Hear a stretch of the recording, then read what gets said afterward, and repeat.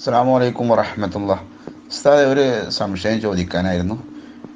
ഇപ്പോൾ പിന്നെ ഈ ലോക്ക്ഡൗൺ ടൈമിൽ കുറച്ച് കൂടുതലായിട്ടുണ്ട് ഒരു ബിസിനസ് അതായത് നമ്മൾ പിന്നെ നമ്മുടെ വീട്ടിലേക്ക് ആവശ്യമുള്ള സാധനങ്ങളൊക്കെ ഓൺലൈൻ മുഖേനയോ അല്ലെങ്കിൽ പിന്നെ കടകളുണ്ട് അവർക്കൊരു ഷോപ്പൊക്കെ ഉണ്ട്.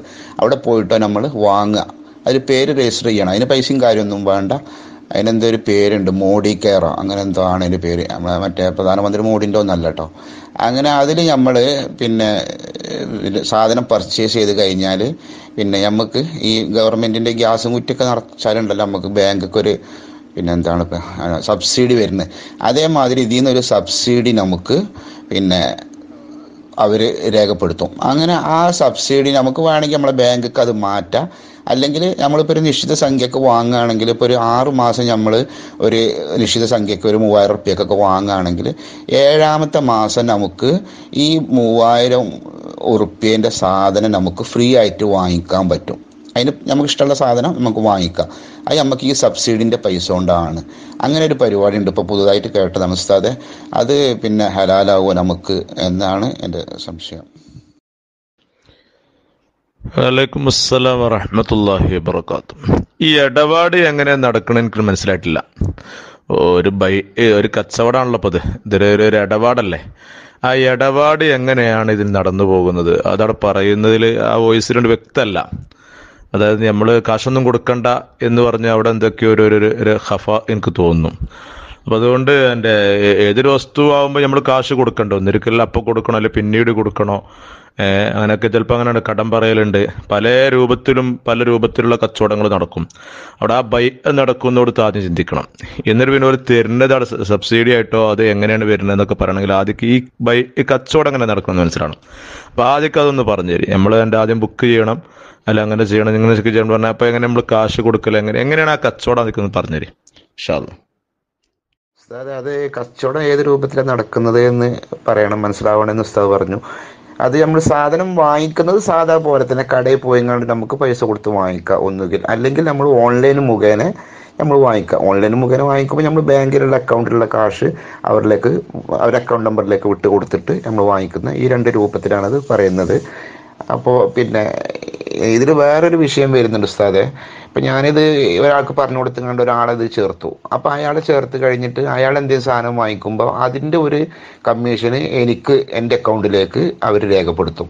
അയാൾ വേറൊരാളെ ചേർത്തിങ്ങാണ്ട് അയാൾ സാധനം പർച്ചേസ് ചെയ്യുമ്പോൾ അതിന്റെ ഒരു ചെറിയ വിഹിതം അവനെ ചേർത്ത ആൾക്കും എനിക്കും അങ്ങനെ ഒരു ചെറിയൊരു കമ്മീഷൻ വരും. അങ്ങനെ എന്തോ ഒരു പരിപാടിയൊക്കെ ഉണ്ട് അതിന്റെ പിന്നിൽ എന്നാണ് അറിയാൻ കഴിഞ്ഞത്. അപ്പോൾ അതും കൂടി ഒന്ന് ഞാൻ നാളെ ചോദിച്ചപ്പോൾ വിട്ടുപോയതായിരുന്നു. ഒരു സുഖമുള്ള ഏർപ്പാടല്ലത് കേട്ടിട്ട്. അങ്ങനെയുണ്ടല്ലോ. ഒരു ഒരു ഒരു ഏർപ്പാട് പറയുമ്പോൾ ഒരു ഏർപ്പാടിൽ മുഴുകുമ്പോൾ ഒരു സുഖമുള്ള ഏർപ്പാട് നമ്മൾ പലപ്പോഴും ശ്രദ്ധിക്കണം.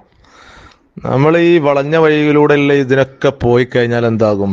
അതിൽ നമുക്ക് ഒരുപാട് പ്രയാസങ്ങൾ ഉണ്ടാക്കും ഇപ്പൊ ഇതിവിടെ ആറ് മാസം നമ്മൾ ഇങ്ങനെ ഒരു പരിധി ഒരു വെക്കുക. ആറ് മാസം വരെ നമ്മൾ ഓലത്തിൽ നിന്ന് സാധനം എടുക്കുക. അവിടെ ഓൽ നിശ്ചയിച്ചു ഇത്ര രൂപക്ക് എടുക്കണമെന്ന് വെക്കുക. എന്നിട്ട് ഏഴാമത്തെ മാസം പിന്നെ എന്ത് ചെയ്യുക? നമുക്ക് അവർ ഫ്രീ ആയിട്ട് തരിക. ഇല്ലെങ്കിൽ അതിനുള്ള കാശ് തരിക. ഏ? അവിടെയൊക്കെ എന്ന് പറഞ്ഞാൽ അതൊക്കെ ഒരു കസ്റ്റമേഴ്സിനെ എന്റെ പിടിച്ചെടുക്കാനുള്ള ഒരു മാർഗമായിട്ടായിരിക്കും ചിലപ്പോൾ അവരൊക്കെ സ്വീകരിക്കുന്നതെങ്കിൽ. ചിലപ്പോൾ നമ്മളെ നന്നാക്കാൻ അവർ ഇരിക്കൂല അത് ആദ്യം തന്നെ പറഞ്ഞുതരാം. അത് എപ്പോഴും നമ്മൾ ചിന്തിക്കേണ്ടതാ. കച്ചവടക്കാരൻ നമ്മളെ നന്നാക്കാൻ ഇരിക്കൂല കേട്ടോ അവർക്ക് അതിൽ നിന്ന് കിട്ടാനുള്ളത് പരമാവധി ഊറ്റിയെടുക്കും. അതിനാണ് അവരൊക്കെ ശ്രമിക്കുക. അതിൽ ചതി ചെയ്യണവരുണ്ടാകും വഞ്ചനുള്ളവരുണ്ടാകും എന്നാൽ നല്ല മട്ടം പോലെ രൂപത്തിൽ കച്ചവടം ചെയ്യണവരുണ്ട്. ഇല്ല എന്ന് പറയുന്നില്ല. നമ്മൾ ശ്രദ്ധിക്കുക എന്താ? ട്രെയിനിന്റെ അടിയിൽ കൊണ്ടുപോയിട്ട് നമ്മളെ തലയെ കൊണ്ടുപോയി വെക്കരുത്. അത് നമ്മൾ കൊണ്ടേ വെക്കുമ്പോഴല്ലേ അത് അതാവുള്ളൂ. ഏ? അപ്പൊ നമ്മൾ ട്രെയിനിന് തലക്കരുത് നമ്മൾ ശ്രദ്ധിക്കുക. നല്ലോണം കരുത് നമ്മളെ കാശാണ്. നമ്മൾ എവിടുന്ന സാധനം വാങ്ങേണ്ടത്? നമ്മൾ എവിടുന്ന എടുക്കേണ്ടതൊക്കെ നമ്മളെ ഇഷ്ടമാണ് അതിലൊന്നും ആരും കൈ കടത്തൂല. അപ്പൊ അതുകൊണ്ട് നമുക്കൊരു ലാഭമുണ്ട് ചെറുതായിട്ട് ലാഭമുണ്ട് എന്ന് വിചാരിച്ചുകൊണ്ട് അന്യായമായ രൂപത്തിലുള്ള ഒരു ഏർപ്പാടും നമ്മൾ നിൽക്കരുത് കാരണം നമ്മൾ ഈ ഉണ്ടാക്കുന്ന കാശുകളൊക്കെ നമ്മൾ ഭക്ഷിക്കുകയാണ് നമ്മളെ മക്കൾ ഭക്ഷിക്കുകയാണ് നമ്മളെ ഭാര്യമാർ ഭക്ഷിക്കുകയാണ് നമ്മൾ സ്നേഹിക്കുന്നവർ ഭക്ഷിക്കുകയാണ് അവരൊക്കെ നമ്മൾ ഹറാമ് കൊണ്ട് തീറ്റിക്കും. അതിനൊക്കെ നമ്മൾ സമാനമായിട്ട് മറുപടി പറയേണ്ടി വരും. ഇവിടുന്നല്ല ഇവിടുന്ന് ഇങ്ങനെയൊക്കെ ജീവിച്ചു പോയിക്കോളുപ്പാ. പക്ഷെങ്കിൽ ആഹ്റത്തിൽ അള്ളാഹുല കൊല്ലിക്കൊടുക്കും അപ്പം ഇങ്ങനെയാണ് സമയത്ത് അപ്പൊ അവർ ആ ഇത്ര ഒരു നിശ്ചിത തുക പറഞ്ഞ് നമുക്ക് കിട്ടുമെന്ന് ഉറപ്പുണ്ടെങ്കിൽ പ്ര- പ്രശ്നങ്ങളൊന്നുമില്ല. അതായത് ഇപ്പൊ അവർ പറഞ്ഞു ആറ് മാസം നമ്മൾ അവരിൽ നിന്ന് സാധനം എടുക്കണം. ഓക്കെ. ഏഴാം മാസത്തിൽ അവർ നമുക്ക് ഇത്ര രൂപ അതായത് ഇത്ര തരും എന്ന് പറഞ്ഞുകൊണ്ട് ഒരു സമ്മാനം പ്രഖ്യാപിച്ച്. ആ സമ്മാനം നമുക്ക് കിട്ടും നമുക്ക് ഉറപ്പാണ്. ആ തുകയും ഉറപ്പാണ്. അങ്ങനെയൊക്കെയാണ് നിനക്ക്. നേരെ വെച്ചാൽ തുക ഉറപ്പില്ല കിട്ടുന്ന ഉറപ്പില്ല. അജാതി പരിപാടിക്കൊന്നും നിൽക്കാൻ പറ്റൂല. അതാ പറഞ്ഞത് ഒരു സുഖമുള്ള ഏർപ്പാടായിട്ട് തോന്നണം നേരെ വാ നേരെ പോകുന്ന അതിന് ഒക്കൂലതൊന്നും പിന്നെ കമ്മീഷൻ അതെന്തായാലും അംഗീകരിക്കാൻ പറ്റൂല. നമ്മൾ ചേർത്തി കൊടുക്കുമ്പോൾ അപ്പോന്റെ അടുത്ത് കമ്മീഷൻ കിട്ടുക ഇവന്റെ അടുത്ത് കമ്മീഷൻ വാങ്ങുക. ആ പരിപാടിയൊന്നും നടക്കൂല. അതൊന്നും ഒരു സുഖമുള്ള ഏർപ്പാടല്ല മക്കളെ. അപ്പൊ ആയതുകൊണ്ട് തന്നെ പരമാവധി ശ്രദ്ധിക്കുക. ഇങ്ങനെ ഓൺലൈനിൽ അതുണ്ടാകും ഇതുണ്ടാകും. നമുക്ക് ഓൺലൈനിൽ സാധനം വാങ്ങാം. നമുക്ക് സാ നമ്മളെ നമ്മളെ ലക്ഷ്യം തന്നെ നമ്മൾ സാധനം വാങ്ങണം. നമുക്ക് സാധനം വാങ്ങണം എവിടുന്നായാലും വേണ്ടില്ല. വില അതിന്റെ വിലയൊക്കെ അവിടെ ഇട്ടിട്ടുണ്ടാകും. ആ വില നമുക്ക് നോക്കിയിട്ട് നമുക്ക് പാകണ്ടേ വാങ്ങാം. ഏ നമ്മൾ പിന്നെ സാധാരണ ഇപ്പൊ ഒരു കടയിൽ പോകണേ നമ്മൾ എത്ര കാലമായി നമ്മൾ സാധനം വാങ്ങണ്. ഇത്രയും കാലമായിട്ട് പോലും നമുക്ക് എന്തെങ്കിലും പകരം എന്തെങ്കിലും സമ്മാനം തിന്നണോ? സമ്മാനം നോക്കിയിട്ടാണ് നമ്മൾ സാധനം വാങ്ങൽ അപ്പൊ അങ്ങനെയൊക്കെ ആകുമ്പോൾ എന്തുണ്ട്? അവിടെയൊക്കെ ഒരുപാട് പ്രശ്നങ്ങളുണ്ട്. നമ്മളൊരു ഇടപാടിൽ ഏർപ്പാട് ഒരു ഏർപ്പാടിൽ അതിനെ ബന്ധപ്പെടുമ്പോൾ നമ്മൾ സമ്മാനം കണ്ടിട്ടല്ല നമ്മൾ സാധനം വാങ്ങൽ നമ്മൾ നമുക്ക് വേണ്ട സാധനം വാങ്ങാൻ പോരാ. അത്രേ ഉള്ളൂ. അവരവരുടെ ബിസിനസ് നമുക്ക് നമ്മളെ സാധനങ്ങൾ വാങ്ങാം. ആ ഒരു സുഖം മറ്റുള്ളവനൊന്നും കിട്ടുന്നില്ല എന്നാ പറഞ്ഞത്. പിന്നെ പറ്റുന്നു പറ്റുന്നില്ല എന്ന് തീർത്ത് അർത്ഥ മുറിച്ചുകൊണ്ട് ഞാൻ പറയല്ല. പക്ഷെങ്കിൽ കൂടെ അതിൽ ഓരോരോ ചതി വരുന്നോ അല്ലോ നോക്കണം. ചിലതിലൊക്കെ ചതി വരും. നമ്മൾ അറിയില്ല. അറിയാത്ത രൂപത്തിൽ ചതി ഒന്ന് പോവും.